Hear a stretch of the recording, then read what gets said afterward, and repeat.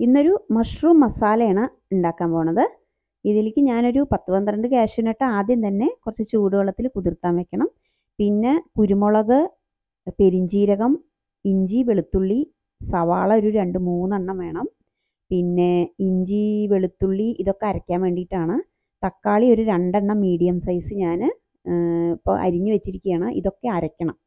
ഇനി ആദ്യം ഒരു അരപ്പിലേക്കുള്ള മസാലയാണ് നമ്മൾ റെഡിയാക്കണത്.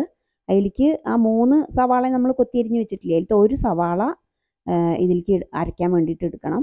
പിന്നെ ഇഞ്ചി ഒരു ഇഞ്ച് വലുപ്പത്തിലുള്ള ചെറുതാക്കി അരിഞ്ഞത്. പിന്നെ ഒരു പത്ത് വെളുത്തുള്ളി അല്ലി. പിന്നെ കുരുമുളക് ഒരു ടേബിൾ സ്പൂണോളം ഇടുന്നുണ്ട്. ഒരു ഉള്ളി പറഞ്ഞല്ലോ. പിന്നെ പെരിഞ്ജീരകം ഒരു ഒന്നര ടേബിൾ സ്പൂണ്. ഇത്രയും നമ്മൾ ഒരു അരയ്ക്കണം. നന്നായി പേസ്റ്റ് പോലെ വേണ്ട. ഒന്ന് തരിതരിപ്പായിട്ട് അരച്ചെടുത്താൽ മതി. ഇതൊരു ബേസ് മസാലയാണ്. ഇതിലേക്ക് ഒന്നര ടേബിൾ സ്പൂൺ പെരിഞ്ജീരകം ഫുള്ളായിട്ട് ഇടുന്നില്ല. കുറച്ച് നമ്മൾ എണ്ണ വെച്ചിട്ട് താളിക്കുമ്പോൾ ഇടുന്നുണ്ട്. അപ്പോൾ ഇതൊന്ന് തരിതരിപ്പായിട്ട് അരച്ച് വെക്കുക.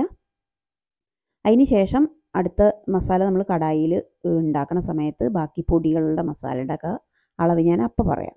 അപ്പോൾ ഞാൻ ഇതിൽ മഷ്റൂമിന്റെ ആ പാക്കറ്റ് രണ്ട് പാക്കറ്റിന്റെയാണ് ഉണ്ടാക്കണത്. ആ അളവാണ് ഇതിൽ പറയണത് കേട്ടോ. ഒരു പാക്കറ്റിനാവുമ്പോൾ കുറച്ച് മസാല കൂടുതലാവും. രണ്ട് പാക്കറ്റിന്റെ അളവാണ് പറയണത്. അപ്പോൾ ആദ്യം കടായി വെച്ചിട്ട് റിഫൈൻഡ് ഓയിലാണ് യൂസ് ചെയ്യണത്. വെളിച്ചെണ്ണയല്ല. റിഫൈൻഡ് ഓയിലിൽ ആദ്യം നമ്മൾ കുറച്ച് മാറ്റി വെച്ചില്ലേ ആ പെരിഞ്ജീരകം കുറച്ച് ഇട്ടിട്ടുണ്ട്. അതിലേക്ക് കറിവേപ്പില ഇട്ടിട്ടുണ്ട്. അതിന് ശേഷം നമ്മൾ തരിതരിപ്പായിട്ട് അരച്ച് വെച്ചില്ലേ ഒരു മിശ്രിതം. അതാണ് ആദ്യം ഇടുന്നത് അത് ഇട്ടതിന് ശേഷം അതിന്റെ ജസ്റ്റ് ഒന്ന് ചെറുതായിട്ട് ഒരു പച്ചമണം പോയതിന് ശേഷം അതിലേക്ക് നമ്മൾ പിന്നെ രണ്ട് സവാള ആദ്യം കൊത്തി അരിഞ്ഞ് വെച്ചിട്ടില്ലേ അത് സവാള അത്ര ചെറുതാക്കി അരിയണമെന്നൊന്നുമില്ല ഇടയ്ക്ക് കടിക്കാൻ കിട്ടുന്ന രീതിയിലുള്ള അങ്ങനത്തെ ഒരു പാകത്തിന് അരിഞ്ഞു വെക്ക അരിഞ്ഞു വെച്ചത് ഇടുക. അതിന് ശേഷം വേഗം വഴന്ന് കിട്ടാൻ നമ്മൾ എപ്പോഴും ചെയ്യണ പോലെ കുറച്ച് ഉപ്പ് ഇടുന്നുണ്ട്. അതിന് ശേഷം ഇടയ്ക്കിടയ്ക്ക് ഇളക്കി കൊടുക്കുക. അതിന്റെ ഇടയിൽ നമ്മൾ ഇത് ഇടയ്ക്ക് ഇളക്കി കൊടുക്കണമെന്നേ ഉള്ളൂ. നമ്മൾ കുതിർത്തി വെച്ച കാഷ്യൂനട്ട് അരച്ച് വയ്ക്കാം പിന്നെ തക്കാളി അരച്ച് വയ്ക്കാം അപ്പോൾ തക്കാളി രണ്ടെണ്ണം മീഡിയം സൈസാണ് നമ്മൾ ഇനി പുളി ഇല്ലാത്ത തക്കാളി ആണെച്ചാൽ ഒരു മൂന്നെണ്ണമൊക്കെ എടുക്കാം. ഇത് നമ്മുടെ നാടൻ തക്കാളി ആയ കാരണം കുറച്ച് പുളിപ്പുണ്ടാവും. അപ്പോൾ ഞാൻ രണ്ടെണ്ണം മീഡിയം സൈസ് എടുക്കുള്ളൂ അത് അരച്ച് വെക്കണം. അപ്പോൾ മസാല മഷ്റൂം മസാല എന്ന് പറഞ്ഞാൽ ഒന്ന് പെരണ്ടിരിക്കണ ഇതാണ്. വല്ലാതെ വെള്ളം പോലെ ഇല്ല ഇത് നമുക്ക് ബിരിയാണിയുടെ സൈഡ് ഡിഷായിട്ട് പിന്നെ ചിലവർക്ക് ചപ്പാത്തിയുടെ കൂടെ ഒക്കെ കഴിക്കാൻ എല്ലാറ്റിനും ദോശയുടെ കൂടെയും കൂടി നല്ല ഇതാണ് പൊറോട്ട ചപ്പാത്തി സാദാ ചോറ് എല്ലാറ്റിനും നന്ന്. പിന്നെ വെജിറ്റേറിയൻസിനും നോൺ വെജിറ്റേറിയൻസിനും ഒരേപോലെ ഇഷ്ടപ്പെട്ട വിടുന്ന ഒരു ഐറ്റമാണത്.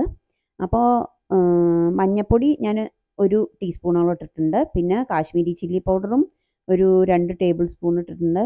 എരിവുള്ള മുളക് പൊടി ഒരു ടേബിൾ സ്പൂൺ ഇട്ടിട്ടുണ്ട്. ഇത് കൂട്ടും കുറയ്ക്കുകയൊക്കെ ചെയ്യാം കേട്ടോ ഇനി കാശ്മീരി ചില്ലി പൗഡർ ഇല്ലാത്തവർക്ക് മുളക് പൊടി മാത്രമാണ് ഇടണം വെച്ചാൽ കുറച്ച് അളവ് കൂട്ടിയിടേണ്ടി വരും.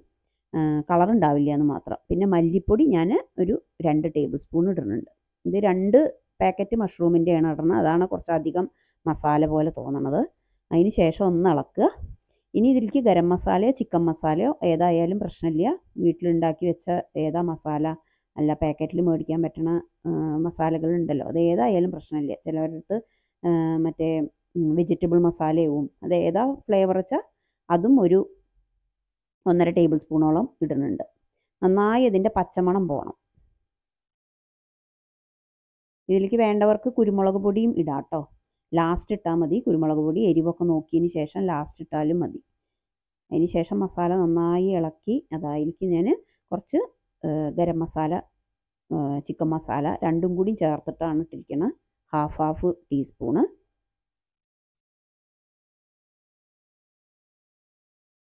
ശേഷം നന്നായി ഇളക്കുക പച്ചമണം പോയതിന് ശേഷം ഇതിന്റെ പച്ചമണം പോയതിന് ശേഷം വേണം നമ്മൾ തക്കാളി അരച്ച് വെച്ചിട്ടുണ്ടല്ലോ അതിടാൻ. തക്കാളി രണ്ടെണ്ണം അരച്ച് വെച്ചത് ചേർക്ക്. അതിന് ശേഷം അതിന്റെ പച്ചമണം പോവാൻ കുറച്ച് ടൈം പിടിക്കും. എന്നിട്ട് എണ്ണ തെളിയണം. ഒന്ന് ഇടയ്ക്ക് ഇളക്കി കൊടുക്കണം എന്നേ ഉള്ളൂ അടുത്തിങ്ങനെ നിൽക്കണം എന്നൊന്നുമില്ല ഞാൻ ഫോർവേഡായി കാണിക്കുമ്പോൾ അവിടെ തന്നെ നിൽക്കണ പോലെ തോന്നുകയാണ് പിന്നെ അപ്പോഴേക്ക് കാഷ്യൂനട്ട് നമ്മൾ സോക്ക് ചെയ്ത് വെച്ചിട്ടുണ്ടല്ലോ. അത് അരയ്ക്കുക. അപ്പോൾ ഇതിലേക്ക് ഞാൻ ചൂടുവെള്ളമാണ്. ചൂടുവെള്ളം തിളപ്പിച്ച് വെച്ച വെള്ളമാണ് ചേർക്കണത്. പച്ചവെള്ളം ഒഴിക്കരുത്. പച്ചമുളക് ഞാൻ ഒരു ഒന്നോ രണ്ടെണ്ണോ കീറിയിടുകയാണ് ചെയ്യുന്നത്. ഇടയ്ക്ക് നമുക്ക് കടിക്കാൻ കിട്ടണത് അങ്ങനെ മസാലയിൽ വല്ലാതെ വെന്തുടയണേക്കാട്ടിലും ഇങ്ങനത്തെ ഇതിനൊക്കെ അങ്ങനെ ലാസ്റ്റ് ഇടുമ്പോൾ കുറച്ച് ടേസ്റ്റ് ഉണ്ട്. ഇനി ഉള്ളിയുടെ കൂടെ ഇടണവർക്ക് ഇടാം കേട്ടോ അപ്പം ഞാൻ ഇത് കുക്കറിൽ ആദ്യം തന്നെ മഷ്റൂം കുറച്ച് മഞ്ഞൾപ്പൊടിയും കുറച്ച് ഉപ്പ് കുറച്ച് മാത്രം ഉപ്പ് ഇട്ടിട്ട് വേവിച്ച് വെച്ചതാണ് ഓൾറെഡി ഇത് ഈ മസാലയിൽ കുറച്ച് ടൈമൊക്കെ ഉള്ളവരാണെന്നുണ്ടെങ്കിൽ ഈ മസാലയിലേക്ക് നമ്മുടെ നുറുക്കി വെച്ച മഷ്റൂം ഇട്ടിട്ടും വേവിക്കാം. ഇനി ടൈം ഇല്ലാത്തവരൊക്കെ ആണെച്ചാൽ അതേപോലെ മടിയുള്ളവർക്ക് വേഗം രാവിലെ ജോലിക്ക് പോകേണ്ടവർ കുട്ടികളെ സ്കൂളിലേക്ക് വിടേണ്ടവർ അങ്ങനെ വേഗം തട്ടിക്കൂട്ട് പരിപാടിയൊക്കെ ഉണ്ടല്ലോ. അങ്ങനത്തെവർക്ക് വേഗം ഒരടുപ്പിൽ വേഗം കുക്കറിൽ മഷ്റൂമും വെക്കാം. മറ്റേ അടുപ്പിൽ മസാല വരും ആയി വരുമ്പോഴേക്ക് ഇതാവും ചെയ്യും. അപ്പോൾ രണ്ട് തരമുണ്ട്. ഇനി ടൈം ഉണ്ട് എന്നുള്ളവർക്ക് മസാലയിൽ മെല്ലെ അടച്ചു വെച്ച് അടച്ചു വെച്ച് വേവിക്കുകയും ചെയ്യാം. അപ്പോൾ ഞാൻ കാഷ്യൂനട്ട് അരച്ച് വെച്ചതും പാരുന്നുണ്ട്. ഇത് ഒഴിച്ച് കഴിഞ്ഞ് കഴിഞ്ഞാൽ കുറച്ച് മസാലയ്ക്ക് കുറച്ച് കുറുകിയ ഒരു പരുവം വരും. നമ്മൾ തേങ്ങ അങ്ങനത്തെ ഒന്നും ഇടുന്നില്ല. അപ്പോൾ മസാലയ്ക്ക് കുറച്ചൊരു കൊഴുപ്പ് കിട്ടാൻ വേണ്ടിയിട്ടാണ് ഇങ്ങനത്തെ പൊടിക്കൈകളൊക്കെ.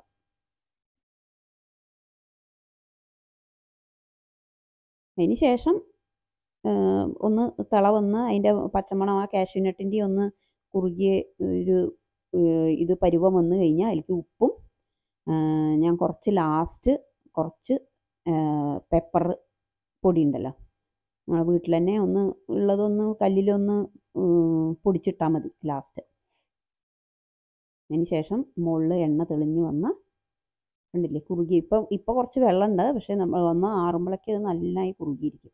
അപ്പോൾ എല്ലാവരും ഒന്ന് ട്രൈ ചെയ്ത് നോക്കൂ. നല്ല എളുപ്പമാണ്. പറഞ്ഞതിന്റെ അത്ര ബുദ്ധിമുട്ടൊന്നുമില്ല എല്ലാവരും ട്രൈ ചെയ്യുക കമന്റ് ചെയ്യുക ലൈക്ക് ഷെയർ ആൻഡ് സബ്സ്ക്രൈബ് മല്ലിയില ലാസ്റ്റ് ഞാൻ ഇട്ടു. അതിന് ശേഷം ചപ്പാത്തിക്കോ പൊറോട്ടയ്ക്കോ ഒക്കെ സെർവ് ചെയ്ത് കഴിച്ചു നോക്കും. Okay bye